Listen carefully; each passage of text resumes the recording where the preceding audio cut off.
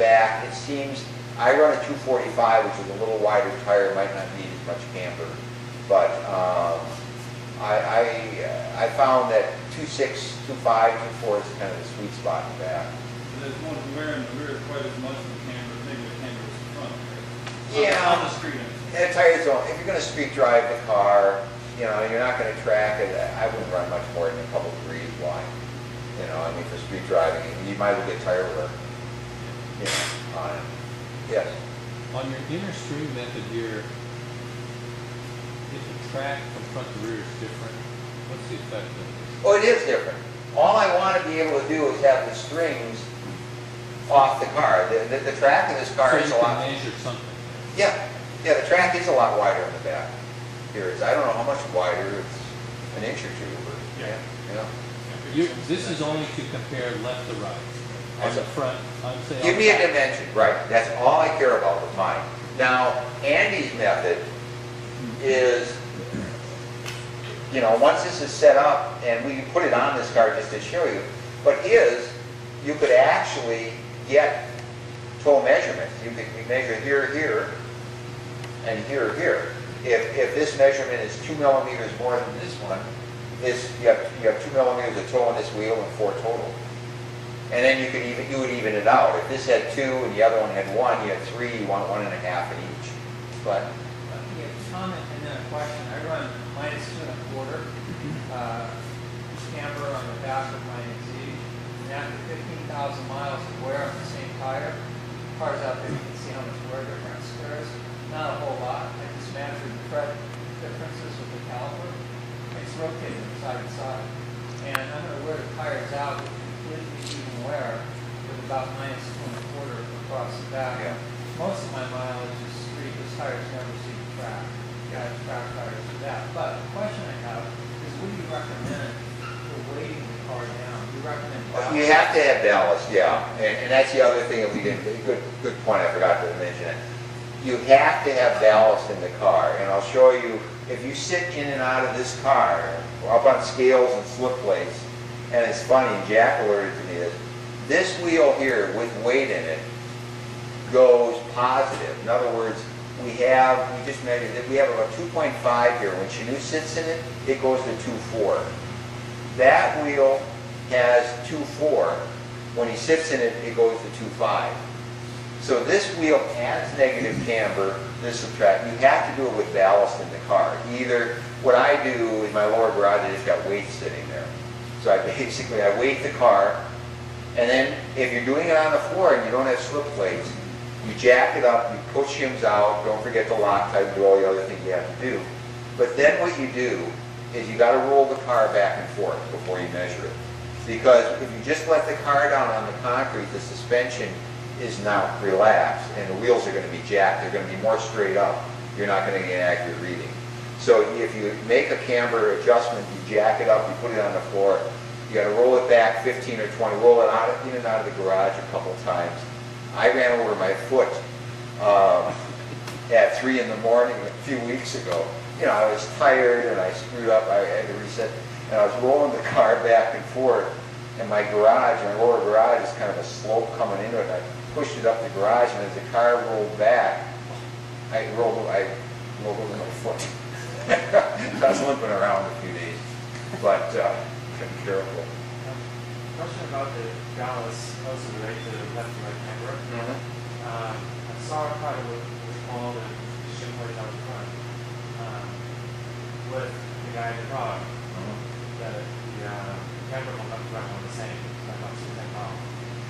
The, the, the spec, that will happen, these cars aren't, yeah, it, it's rarely you'll have a car that you'll have the same amount of shims on both sides and the readings will be the same, especially with ballast in them, it, it's rare. Um, So are you looking to then put a shim or two back to see them even, or do you to get them all out? Well, you know, it depends on where you're at on it.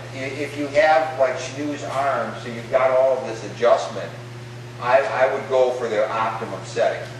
You know, and if you, uh, on it, uh, not worry if it's two shims or three, you just get, get the setting. Now, if you're in a situation with stock arms, I would rather, if I got .8 on one side and .6 on the other, I'll take an eight and a six than I will two sixes.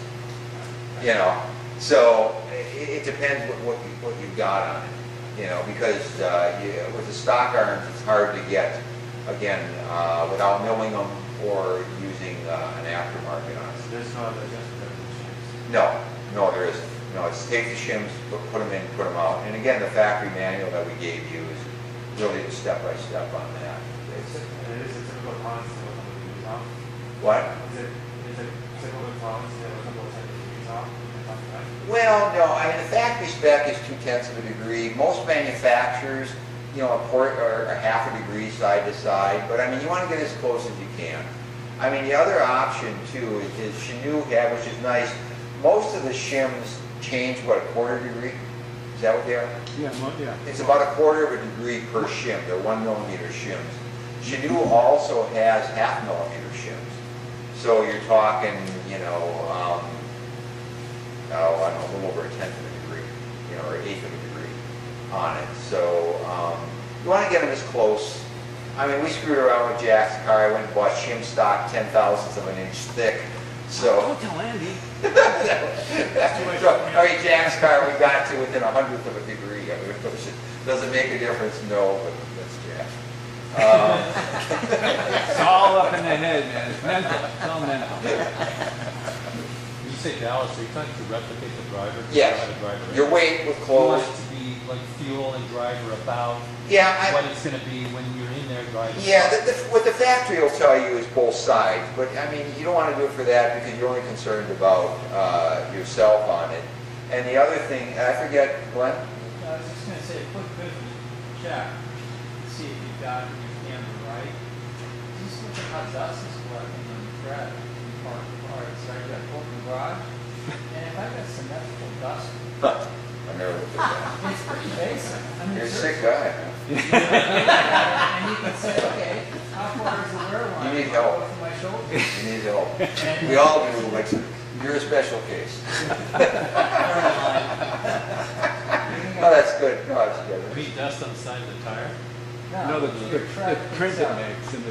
It'll be clean. It'll be clean. If you wash your car and you go drive it, you come back, pull up the garage, where your wear pattern is your tread is gonna show you the roll. Show you, yeah, exactly. I actually caught. Don't let 'em give you a hard I time. We use plaster. We No, use this is, plaster. this is, this is a good point. This is how I figured out, I screwed up my camber setting. I didn't ballast my car. And something kept bugging me about my car.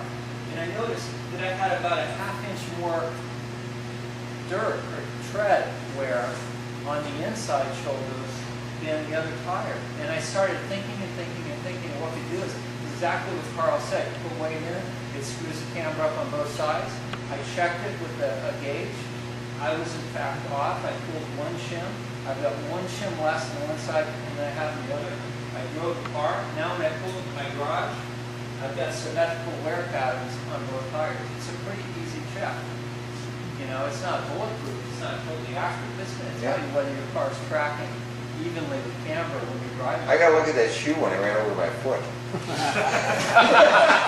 See, see, see how the tread was. You can't, you can't, you can't give Greg too much of a hard time because he became like this after go- going to Oh, your I house was up, in yeah, that I seminar love two years ago. lo- I love it, we've talked to, yes.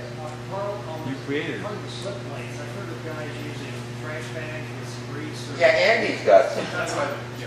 Okay. Take some industrial trash bag. Yeah. You can cut it up, take one, just cut it to four even pieces. Take some excess oil that you have, with an oil change, you just put a little in there, rub it in, it's really good. The other thing I've, I've heard of are vinyl floor tiles with grease in between them. Twelve by twelve vinyl floor tiles. Um, what slip plates do, this car we have on, see?